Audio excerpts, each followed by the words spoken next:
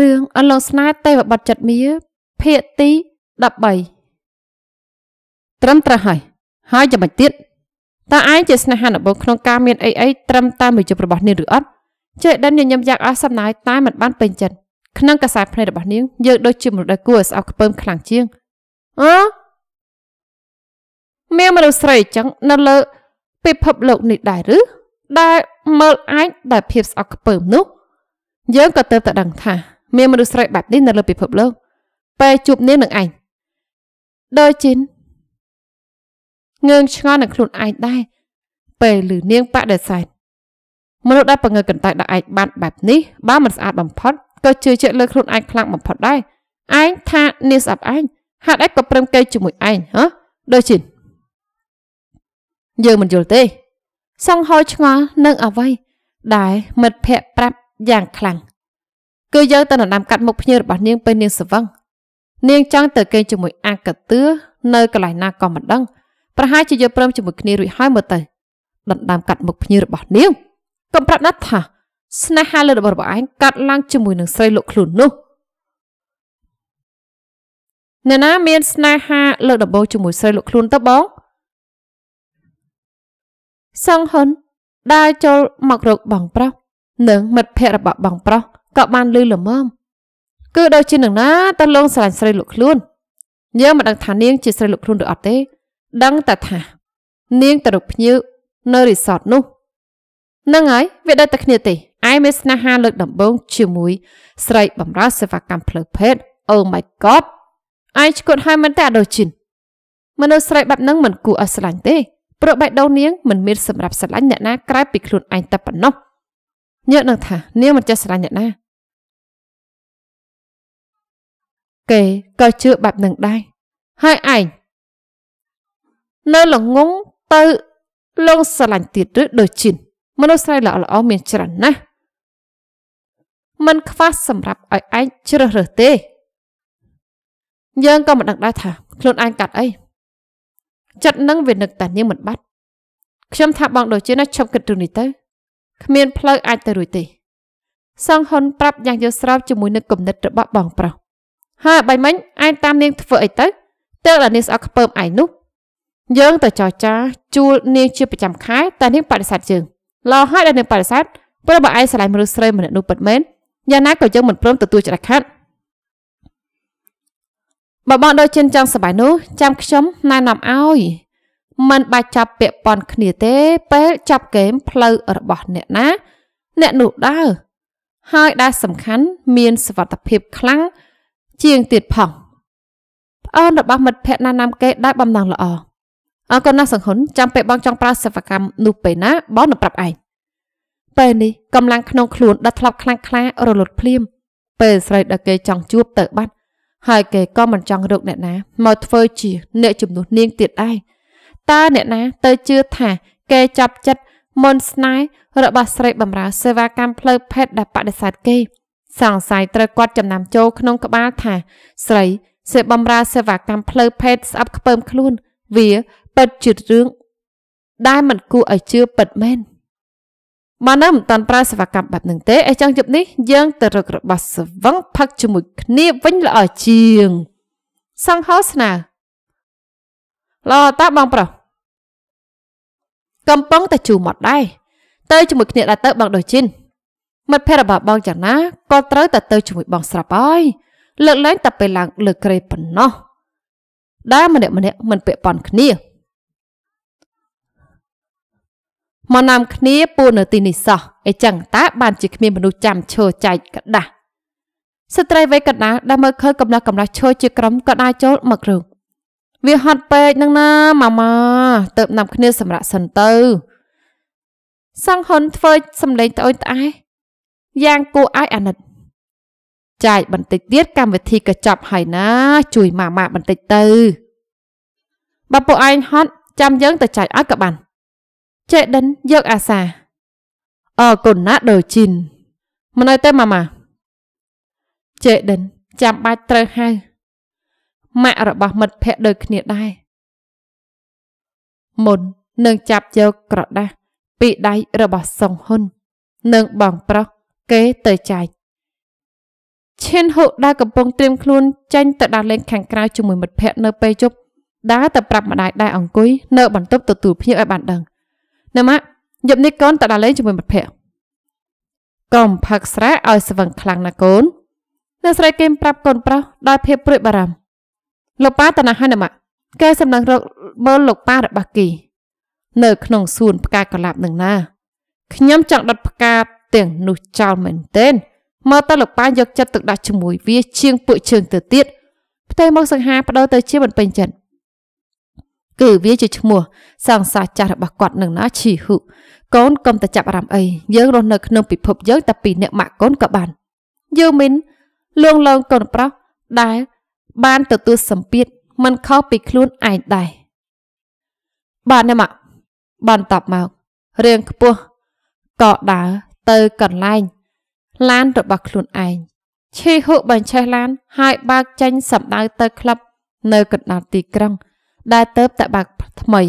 ខណៈនោះជេដិនក៏ជិះឡានមកជាមួយសង្ហូនិងសង្ហ៊ុនដែរដែលសង្ហូជាអ្នកបើកនាំពួកគេទៅរំសាយអារម្មណ៍ ហើយ ទីកន្លែងនោះសង្ហ៊ុនជាអ្នកណែនាំខ្ញុំធានាថាបងដូចជាអ្នកច្បាស់ជាចូលចិត្តក្លឹបនោះជាមិនខានមានអីពិសេសមែនទេសង្ហ៊ុនគឺមានស្រីស្អាតស្អាតទាំងអស់នឹងណមានន័យថាឯងទៅឡាលេងញឹកញាប់ហើយមែនទេសង្ហូសម្លឹងមើលប្អូនប្រុសមិត្តភក្តិខ្ញុំជាអ្នកណែនាំឲ្យទៅនឹងណាទៅខ្ញុំណែនាំបងដូចជីននិងបងឯងទៅមួយតង់ទៀតបើមនុស្សស្រីនៅទីនោះមិនស្អាតដូចដែលបានប្រាប់នោះ ឯងច្បាស់ជាត្រូវមិនខានបងប្រុសស្ដីបន្ទោសហើយបើត្រូវចិត្តបងឯងក៏ភ្លេចឲ្យរវល់ខ្ញុំផងណាប្អូនប្រុសប្រាប់ដោយភាពជឿជាក់ក្នុងចិត្តឡានដែលបើកមកសុកសុកក៏ចាន់ហ្វ្រាំងយ៉ាងតន់ហន់ធ្វើឲ្យប្រុសកំឡោះដែរអង្គុយនៅខាងមុខផ្កាប់មុខសំណាងល្អដែលយកដៃទប់តន់គេក៏លោឡាយ៉ាងលឺភ្លាមភ្លាមបងខ្ទើយបងបើកឡានបែបណាហ្នឹងស្ទើរតែបែកក្បាលខ្ញុំហើយ បងបើកមិនល្អឯណាទៅ គឺអាឡានឈ្គត់នោះទៅវិញទៅតាវាបើកកាត់មុខបងទៅបានជាបងត្រូវចន់ហ្វ្រាំងអញ្ចឹងសង្ហូចេញអាការៈខឹងអាឡានខាងមុខនោះមែនទេបង តាមទៅកាត់មុខវាតែម្ដងទៅបងបានយើងនឹងចាត់ការឲ្យគេបញ្ញាប់បើកឡានកាត់មុខឡានដែលថានោះភ្លាមទៅឃើញថាឡានមួយគ្រឿងនោះបត់ចូលទៅក្លឹបដែលពួកគេនាំគ្នាទៅដែរវាទៅដល់លេងនៅកន្លែងជាមួយពួកជើងដាតាបងខ្ទើយ បើអញ្ចឹងយើងត្រូវរឿងវាទៅសងហ៊ុននិយាយបែបអ្នកលេងឆេហុលួចញញឹមសំចិត្តពេលវ៉ាកាត់មុខឡានអបាញ់មិញបានព្រោះអាងថាខ្លួនមានគ្នាច្រើនជាងនឹងជ្រិញរឹកមិនចូលចិត្តឡើងមកធ្វើប្រងើយចេះបើកឡានយឺតជាងដើកទៅកាត់មិនអើយជួបបាត់នេះទៅលើក្រោយមិនបើកយឺតទៀតគេបើកឡានចូលទៅចតនៅមុខក្លឹបទំនើប ហើយបើកទ្វារចុះមកទាំង3នាក់មុនពេលហើយកូនសៅឲ្យបុគ្គលិកដែលឈរនៅខាងក្រៅយើងទៅចតផងក្រាន់តែសង្ហូឃើញថាជាអ្នកណា ជាអ្នកបាក់ឡានក៏ហៅឈ្មោះគេភ្លាមឈីហ៊ុបងខ្ទើស្គាល់គេដែរប្អូនប្រុសមើលទៅក្រុមមនុស្សដែលនៅពីមុខដៃភាពងឿងឆ្ងល់ស្គាល់តា បងនៅក្នុងសង្គមអ្នកមានណាហេតុអ្វីមិនស្គាល់កូនប្រុសរបស់លោកគឹមដូជុនមកចាស់ក្រុមហ៊ុនផលិតឧបករណ៍ពេទ្យហើយថែមទាំងនាំចេញទៅក្រៅប្រទេសទៀតផងកែនៅស្គីមរួចប្រាប់ប្រហូតដល់អស់ក្រុមហ៊ុនប៉ារបស់ដូជុននឹងណាកែមិនមែនជាប៉ារបស់ជើងទេយើងចូលទៅខាងក្នុងទៅជេដិននិយាយកាត់ដោយមិនចាប់អារម្មណ៍ពេលអ្នកទាំងអស់គ្នា ចូលទៅអង្គុយក៏ក៏មងស្រាមកផឹក ស្រីក្រមុំ3នាក់ក៏ដើរមកតុកគេនឹងធ្វើទូនាទីលាយស្រាកឲ្យប្រុសកំឡោះទាំងអស់សង្ហរនិងសង្ហ៊ុនអោបរៀងទុនក្នុងរវងដៃខណៈដែលនាងអង្គុយបំរើសេវាកម្មហើយសួរដល់សំឡេងផ្អែមល្ហែមចាស់ចាត់ផឹកបែបចាស់ចាស់ឬបែបស្រាស្រាចាស់ខ្ញុំនឹងលាយឲ្យត្រូវបើរឿងស្រាគឺត្រូវតែប្រាប់ថាចូលចិត្តចាស់ចាស់ហើយស្រីស្អាតសង្ហរផ្ដល់ចម្លើយត្រឡប់ទៅវិញមែនហើយ តាមបើសួររឿងមនុស្សស្រី គឺត្រូវតែប្រាប់ថាក្មេងៗហើយសង្ហរនិយាយបន្តពីបងប្រុសហើយចាស់បងសង្ហាម្នាក់នេះចូលចិត្តបែបណាដែរចាសំលេងឲ្យដៃពេញទឹមហឹងខ្ញុំចូលចិត្តផ្អែមផ្អែមណាបាទចូលចិត្តផឹកស្រាផ្អែមផ្លាច់ដល់ហើយមិនដូចអ្នកដតីសោះដូចជិនអញចូលចិត្តផឹកស្រាផ្អែមមែនសងហូធ្វើទឹកមុខចម្លែកចិត្ត តើអាចឆ្ងាញ់បែបនឹងមែនអីវាត្រូវតែលវិញបន្តិចបន្តិចទៅល្អពេលអ្នកបងប្អូនសតតែធ្វើមុខងឿងឆ្ងល់ជាមួយនឹងការចូលចិត្តរបស់ដូជីនយើងមិនបានមានន័យដាស់ស្រោទេ យើងចង់និយាយពីបបោម៉ាន់តើចេដិនលែងល្បាច់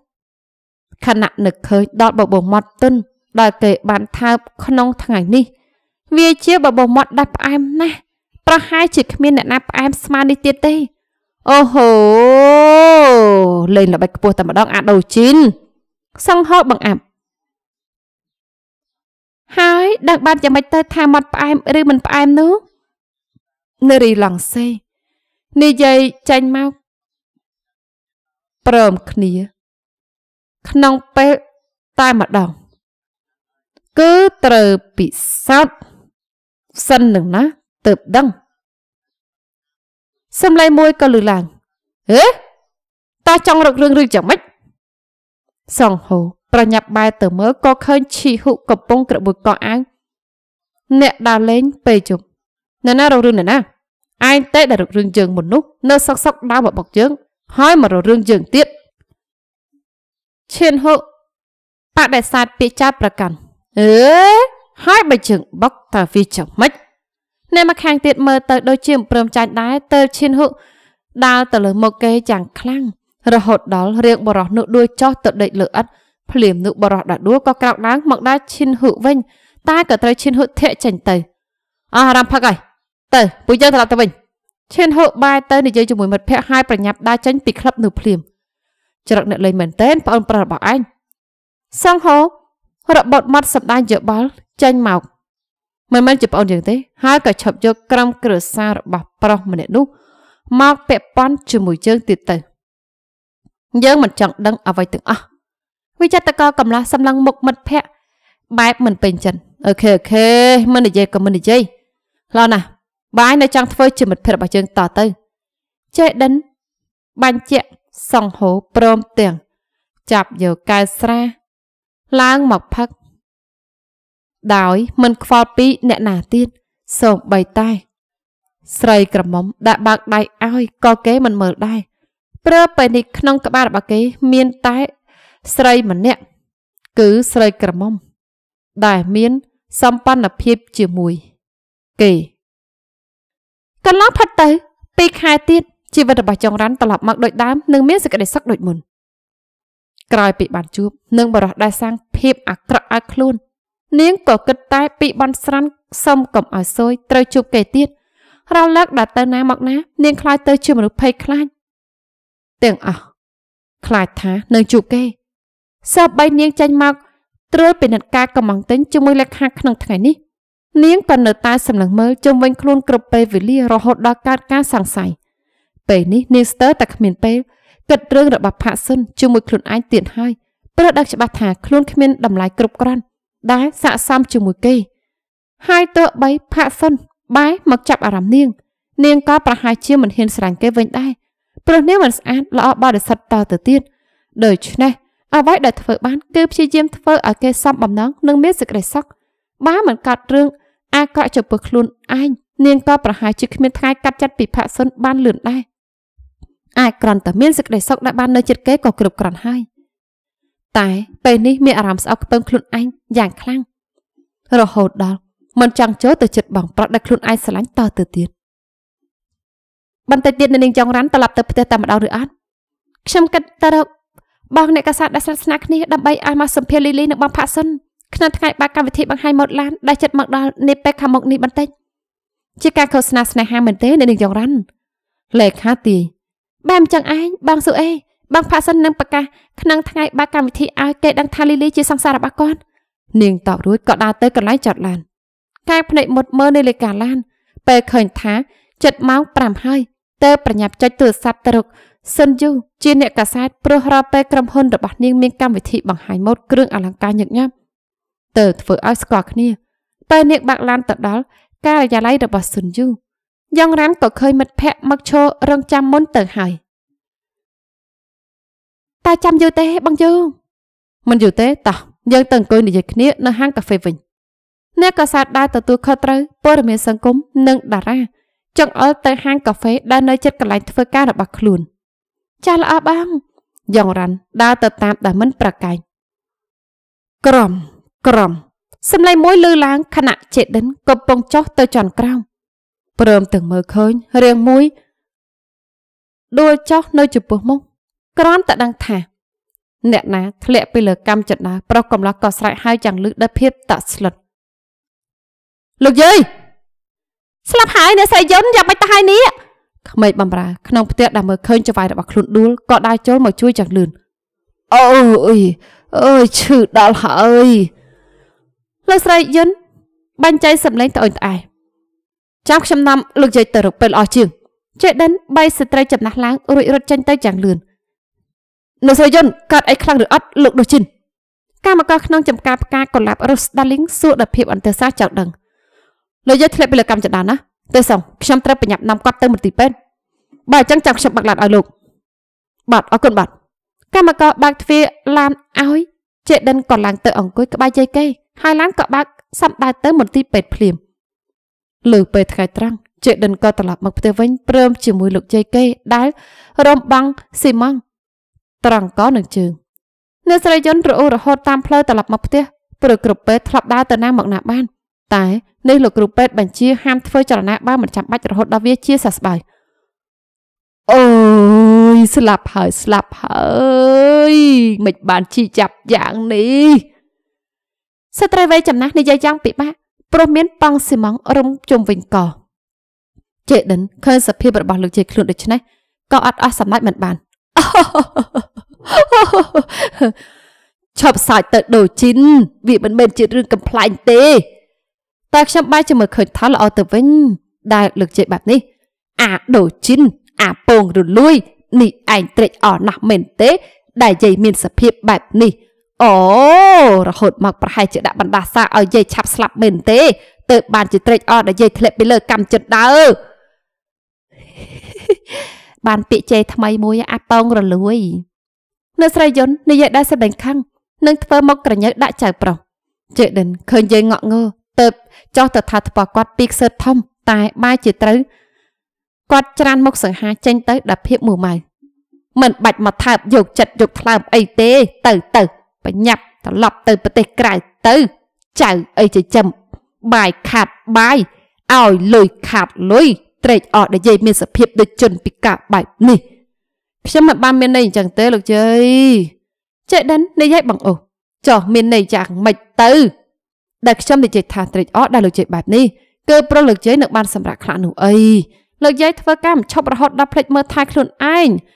ហើយលោកយាយងងឹតមកធ្លាក់ទៅលើកម្មចដាស់ចុះមកក៏ប្រឹកតែរឿងនេះដែរដោយជិនអធិប្បាយឲ្យលោកយាយជាទីស្រឡាញ់បានដឹងបើយាយមិនមើលការងារចុះបានអ្នកណាមើលទៅ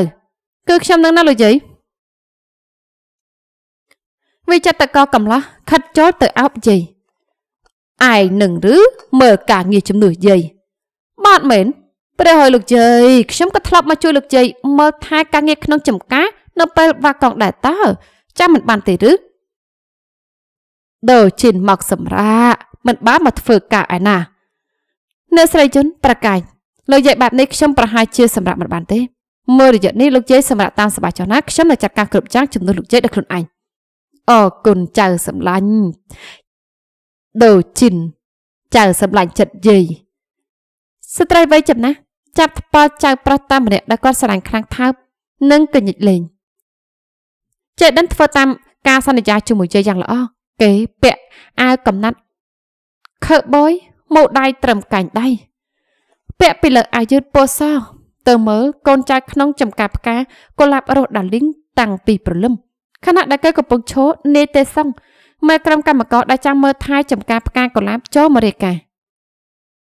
ខ្ញុំនឹងទៅទិញជីនិងថ្នាំសម្រាប់សត្វល្អិតដាក់ផ្កាកុលាបណាលើកដូចជិនខ្ញុំទៅដែរដូចជិនឡើងទៅអង្គុយលើឡានកង់6ក្បែរមេក្រុមកម្មករភ្លាមតែសង្ហុននិងសង្ហុនដឹងថា លើកយាយធ្លាក់ពីលើកម្មចដាក៏បញ្ញាបើកឡានមកសួរសុខទុក្ខ ព្រមទាំងផ្កាមួយបាច់ធំនៅទាំងពីរដែរចូលមកក្នុងបន្ទប់ទទួលភ្ញៀវក៏ជួបអ្នកជាយាយកំពុងអង្គុយនៅលើសាឡុងអូលោកជ័យខ្ញុំមិនគិតថាលោកជ័យធ្ងន់ធ្ងរដល់ថ្នាក់នេះទេតែបាត់នេះក៏ល្អដែរបើបានអញ្ចឹងយូរកាន់តែល្អម្នាក់ទៀតឯតាអាពងរលួយនេះនៅស្រីយុនចាប់យកខ្នើយដាក់ដាក់នៅចិត្តខ្លួនគប់ចាញ់ភ្ញៀវភ្លាមធ្វើឲ្យប្រុសកំឡោះកិច្ចមិនតាន់ក៏ត្រូវចាំក្បាល អូយលោកជ័យយកខ្នើយមកគប់ខ្ញុំធ្វើអីមាត់ខ្លាំងនោះអីអាខ្ទើយឯងមកដាក់បណ្ដាសាឲ្យជើងបែបនេះធ្វើអីហ៎ខ្ញុំមិនបានដាក់បណ្ដាសាយាយឯណាលោកជ័យដែលខ្ញុំប្រាប់បែបហ្នឹងគឺព្រោះថាពេលដែលលោកយាយមិនកាត់អីលោកយាយដើរទៅដើរមកមិននៅស្ងៀមសោះរហូតដល់ខ្ញុំលួចគិតថាលោកយាយជាមនុស្សយន្តឬអត់មិនចេះហត់ខ្លះទេឬយ៉ាងម៉េចបាទមែនហើយខ្ញុំក៏យល់ស្រាប់ដូចបងសឹកហូតដែរពេលខ្លះខ្ញុំក៏គិតថាលោកយាយជក់គ្រឿងញៀនទេដឹង បាទប្រកាមណាស់អាក្អូនតើបានជាមានកម្លាំងខ្លាំងធ្វើការមិនឈប់ទាំងដែលអាយុច្រើនទៅហើយនោះពេលសងហ៊ុននិយាយចាប់គេក៏ត្រូវខ្នើយមួយទៀតគប់ចំមុខភ្លាមដែរលោកយាយមកគប់មុខខ្ញុំធ្វើអីដែរនេះខ្ញុំសរសើរលោកយាយតើនេះឯងសរសើរឬឯងធ្វើឲ្យប៉ូលីសមកចាប់យើងដាក់គុកឲ្យប្រកាសទៅហាអាខ្ទួយមាត់ខ្លាំងមែនទែនទឹកបងទឹកប្អូនឯងនឹងដល់ថ្នាក់លោកយាយប៉ងសិមងកហើយនៅតែជេខ្ញុំនឹកបងប្រុសបាន ស្ទាត់មាត់ដូចដើមទៀតមិនធម្មតាមែនមិនធម្មតាអឺហើមិនធម្មតាសង្ហុននៅមិនតាន់ឈប់បង្អាប់លោកដូចិនមានបញ្ហាហើយនាយទេសងចូលមករេកាបញ្ហាអ្វីឬលពូទេសងព្រោះថ្ងៃនេះត្រូវយកផ្កាទៅឲ្យម៉ួយនៅទីក្រុងនឹងណាតាអ្នកបាក់ឡានពីរនាក់មិនមកធ្វើការដូចគ្នាខ្ញុំខ្លាចថាយកទៅទីក្រុងមិនតាន់ទេនេះ ចាំខ្ញុំយកទៅដោយខ្លួនឯងជ័យដិនដោះស្រាយបញ្ហាដែលថាភ្លាមនេះឯងធ្វើការនៅក្នុងចំការដែរអដូចឈិនសង្ហោធ្វើទឹកមុខចម្លាញ់ចិត្តគឺរយៈរបស់ជើងបែបនេះពួកអាចឲ្យយើងអង្គុយនៅស្ងៀមស្ងៀមបានយ៉ាងម៉េចទៅពួកឯងមកហើយមកជួយយើងឲ្យលឿនលឿនទៅចេះដិនអស់មិត្តភក្តិនិងប្អូនប្រុសរបស់មិត្តភក្តិទៅជាមួយគ្នាអេតើទៅទឹកអីជាមួយនឹងយើងដែរយើងមកសួរសឹកទឹកលើជ័យតើវិញឯងជួយមិត្តភក្តិប៉ុណ្ណឹងមិនបានឬយ៉ាងម៉េច ទៅឆាប់ឲ្យលឿនលឿនឡងយើងមិនបាននៅទីក្រុងប្រមាណទៅមិនសូវស្គាល់ផ្លូវឯងនៅមកយូរគួរតែស្គាល់ផ្លូវខ្លាំងជាងបងដូចជានិយាយក៏ត្រូវដែរបងខ្ទើយសង្ហុនកំត្រទៅធ្វើឲ្យសង្ហោត្រូវបាក់ឡានឲ្យមិត្តភ័ក្តិដើម្បីជាការជួយគ្នាមួយសន្ទុះធំអ្នកទាំង3ក៏បាក់មកដល់ផ្សារដែលលក់ផ្កាស្រស់ស្រស់ ឲ្យហាងផ្កាផ្សេងផ្សេងអ្នកទាំង3ព្រមទាំងកម្មករសិតតែជួយគ្នាប្រមូលផ្កាចូលទៅក្នុងផ្សារពេលយកទៅឲ្យអស់ហើយក៏ត្រៀមបាក់ឡានត្រឡប់ទៅចំការវិញប៉ុន្តែសង្ហុនស្នើចេដិនជាមុនបងលោកចិនខ្ញុំថាពួកយើងឆ្លៀតចូលញ៉ាំអីបន្តិចមុននឹងត្រឡប់ទៅវិញតើល្អទេបងអឺល្អដែរតាសង្ហររកកន្លែងចតឡានដើម្បីចូលទៅញ៉ាំអាហារក្នុងហាងអ្នកទាំងបីដើរចូលទៅខាងក្នុងចំណែកកម្មករសុំទៅញ៉ាំនៅហាងដែលមានតម្លៃធម្មតា នេះអញត្រូវនៅធ្វើការជំនួសលោកជ័យច្រើនខែទៀតហើយមើលទៅទៅបានសម្រាប់សង្ហរបបួននិយាយខណៈកំពុងញ៉ាំបាយមិនទេដើម្បីលោកជ័យយើងធ្វើបានស្រាប់ហើយតែរូបដែរយើងគួរឲ្យអតិថិជនរបស់ឯងតែគេពេញចិត្តទេពេញចិត្តខ្លាំងណាស់មិត្តភ័ក្តិរបស់គេខូចរូបក៏ចង់បានដែរតែគេប្រាប់ថាសោកស្ដាយផងដែលឯងមិនទទួលគូទៀតទេពេលនេះយើងប្រហែលជាគ្មានពេលវេលាទេព្រោះទៅមើលថែលើកជ័យនឹងណា ពេលញ៉ាំបាយឆ្អែតហើយសង្ហូក៏ហៅបុគ្គលិកហាង មកគិតលុយខណៈដែលដើរចេញពីតុជេដិនក៏មានអារម្មណ៍ដូចជាបុកជាមួយអ្វីម្យ៉ាងព្រមទាំងមានសម្លេងស្រែកលឺឡើងអើយពេលបែរទៅមើលក៏ឃើញមនុស្សស្រីម្នាក់តាំងខ្លួនសិចស៊ីទម្លាក់សក់រួញរួញចុះមករាងស្អាតនៅក្នុងរង្វង់ដៃរបស់គេល្មមកត់អីឬអត់បាត់គេដកខ្លួនចេញមកពីរាងស្អាតនិងសួរដោយភាពព្រួយបារម្ភអេមិនអីទេចាស់អរគុណដែលបានជួយ អ៊ីនចាយមើលមកប្រុសកំឡោះព្រមទាំងប្រកល់ស្នាមញញឹមឲ្យយ៉ាងផ្អែមល្ហែមបើកដៃឲ្យគេដោយគ្មានលាក់បាំងអីបន្តិចបើមិនកាត់អីល្អអញ្ចឹងបន្ទាប់មកជេដិនក៏ដើរចេញពីហាងនោះព្រមជាមួយមិត្តភ័ក្តិរាងស្អាតដែលឈរទប់ខ្លួនបានអំបញ្ញមិញរត់តាមចេញទៅយ៉ាងលឿនមុនពេលឃើញថាអ្នកទាំង3កំពុងឡើងឡានកង់6ស្លាប់ហើយមកមាត់ទាំងរើសង្ហាដល់ថ្នាក់នេះបែរជាបាក់ឡានកង់6ទៅវិញអន់មែនតែ ននាងធ្វើសម្លេងខ្ពស់ដោយភាពខកបំណងហាមខំធ្វើជាមយាយយ៉ាងពេញទំហឹងតែបែរជាបាក់ឡានកង់6មកនេះឯងបដូររឿងនិយមទៅធ្វើជាសង្សាររបស់អ្នកបាក់ឡានដឹកអីវ៉ាន់ហើយមែនទេអង្គុយជាសោះនាងអ៊ីនចៅអើយ